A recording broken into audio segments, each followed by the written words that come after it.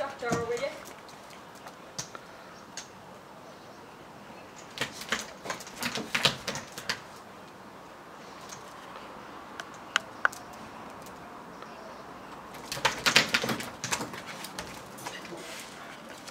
Out, out, come on.